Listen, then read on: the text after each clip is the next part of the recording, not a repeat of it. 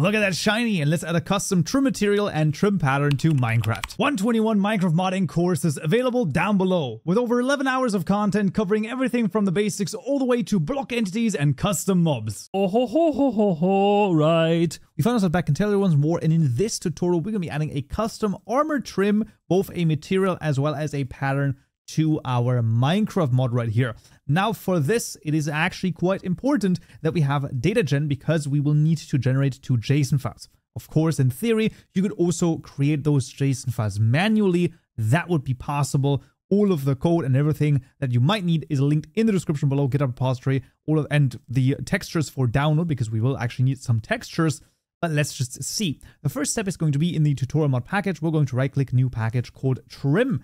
And inside there, we'll need two new Java classes. The first is going to be the mod trim materials class, and the second one is going to be the mod trim patterns class. Now, the contents of both of these will be copied over. This is going to be, you'll see that this is fairly straightforward, all things considered, and I will, of course, go through. We're going to start with the materials right here. And this should have no errors present as long as you have a bismuth item right here. If you don't, then of course there would be a, an error here. That would be the case. We're going to start at the bottom over here with the helper method, the register method right here. You can see basically this is just a helper method to register our trim material properly. And here we're creating the trim material out of a you know a specific path. So we're going to give it a name right? We're going to give it an item that's associated with it. The item model index i'll get to this in a second when we get to the register method. And then we also have a translatable component basically giving you the description or the, just the name basically. And here at the end, we also got a style and then just a blank map that would probably, I believe that this is including or excluding what type of armor can actually, well, this particular material be put on. If you have it empty, then it should be able to be put on every armor. So there you go. And then here the context just registers everything. Uh, in the bootstrap method, you can see we're calling this register method. And of course, in total, right, if you had this and you had like three different little trim materials, then you would still only have one register method. You'd have three calls right here, and you'd have three differently named, obviously, resource keys, right? That's the whole idea. That should be basically self-explanatory, uh, basic Java in that case, so nothing too crazy. Calling the register method, we also have this register key, as you can see, as the second parameter, and that is the resource key of type trim material. Basically, it's a fancy resource location that points to a specific name here and just says, hey, this is a this is basically the resource location for our trim material, in this case, a bismuth trim material, and there we go. We want to combine this or basically say, hey, this is the item associated with it. Then we have a text color. This is just the text color that when you hover over a trimmed armor piece, right, like a chest plate that has this particular trim material, then the color is basically just this. You can also change this in whatever way you'd like. And then the item model index is quite interesting. And that is when we think back to the last or second to last lecture, I believe, then what we had in the item model provider over here, and the very uh, top over here, we had the trim materials crazy linked hash map over here that points to a float. And that is basically what this item model index is. The item model index determines the color that your item texture will well change into, right? So when you when you trim a particular piece of armor, and what happens is that it gets a little bit of a different texture and the color of that texture, right? The trim that is on the on the item, that is determined by the item model index right here in this case. So basically, what I highly recommend is you take one of them that is the closest to it. I would say for all of them that we have, I think redstone could work. Copper, I think, might even be a little bit better. We're going to see the colors for bismuth in a second, but I think copper could probably be okay. The others don't really make a lot of sense, in my opinion. Adding a custom one to this, I have no idea how complicated it is. I don't think it's possible because that would also require you to then change vanilla stuff and I don't think that that's possible. So we're definitely not going to do that in this case. I highly recommend just take one of them that from vanilla. Basically, you will have find one that's going to closely match, right? Not exactly, but closely. And this is the mod trim materials. When it comes to the trim patterns, also going to be interesting and it's going to look almost exactly the same. However, we will run into one error that is normal because we have not added the smithing template because of course for a trim pattern you need a custom smithing template. That should be well sort of fairly self-explanatory in this case but you can see the general like makeup of this particular class is almost the same as this one right? We can see that basically we have the register method again where we now create a trim pattern. And we call this in the bootstrap method and then here we also have a resource key this time of trim pattern in this case and that's basically the idea so let's clean this up. So to get rid of the error, well, let's just, you know, register the item over here. So this is going to be in the mod items class, going to be quite interesting. This is going to be a public static final deferred item of type item. And this is going to be the Kaupen underscore smithing underscore template. There you go.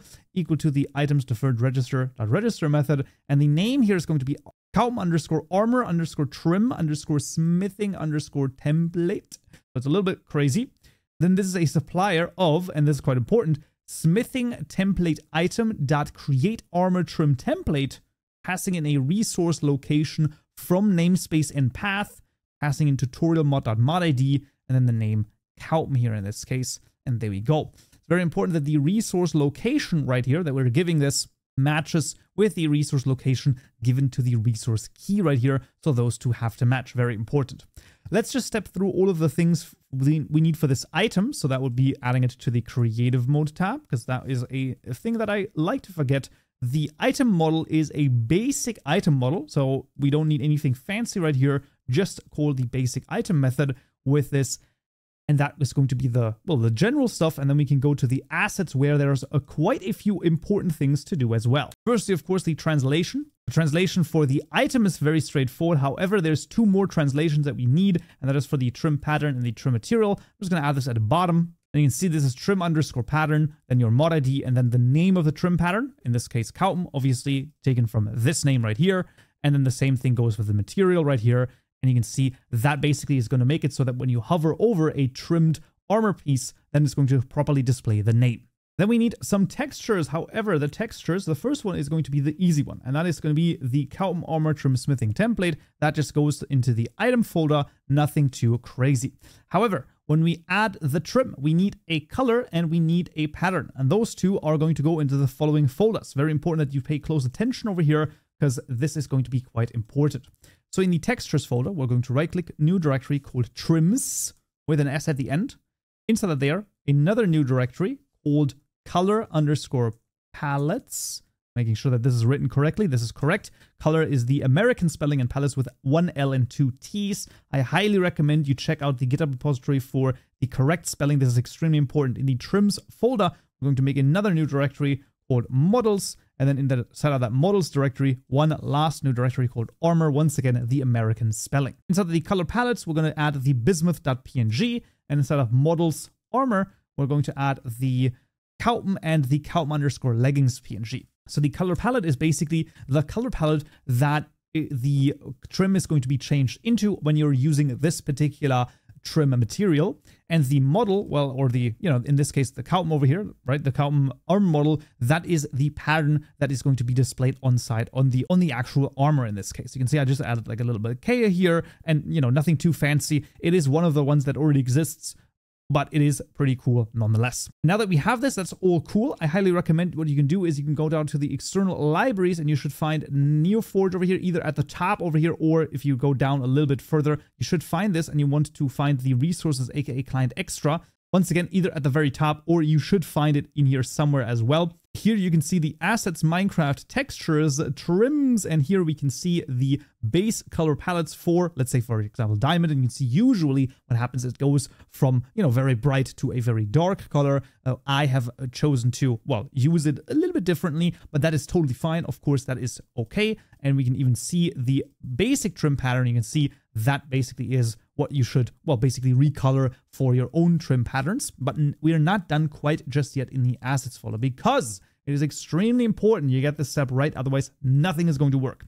And that is inside of the assets folder, we need to create a new folder called Minecraft. Inside of there, we need to create another new folder called Atlases. So this is the plural of Atlas. Make sure it is situated resources, assets, Minecraft, Atlases, And inside of there, I'll be copying over a JSON file, of course, also available to you down below, armor underscore trims.json. And it's going to look kind of like this. Very important that we get this right because otherwise it's not going to work. You can see this is a this is basically the palettes over here. So this is going to be for your custom trim models, right? This is the patterns. And you can see at the bottom, we're adding tutorial mod trims models armor Kaupen, as well as the Kaupen leggings. Extremely important that we have this, otherwise we will run into issues and it's not going to be displayed properly. The same thing goes at the bottom right here. We have the bismuth name, and then here, tutorial mod trims color palettes bismuth.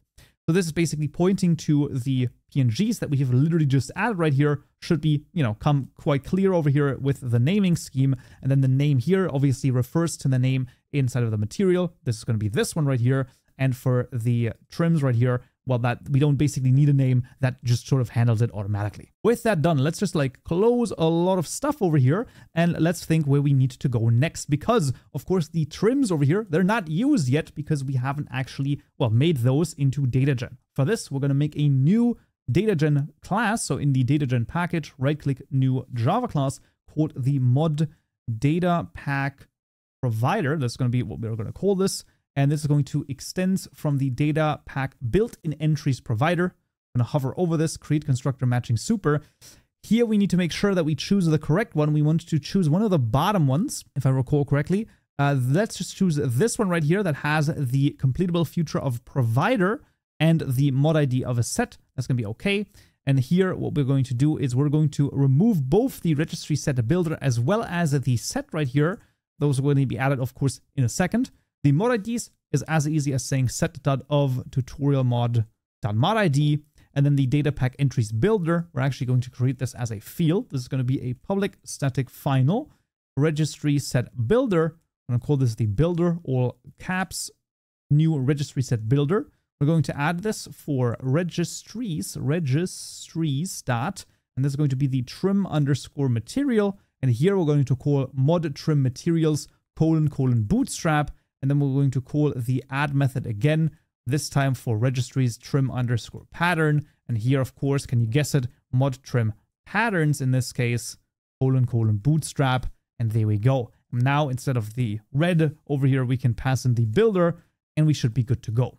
With this done, we can now add it to the data generators class. So this is going to be generator.addProvider, event.include server this time, very important. New mod data pack, mod data pack provider, passing in the pack output, as well as the lookup provider. With this done, we basically are going to be able to generate the JSON files. We have almost everything we need. However, there's quite another few things that are important, and those are tags. Just like we had with our custom armor that we wanted to make trimmable, we have to make sure that our material and our template are going to be, well, sort of allowed to be placed into the smithing table. So for this, we're going to say this dot tag, and we're going to say item tags dot trim underscore materials. Here, we're going to add mod items dot bismuth dot get.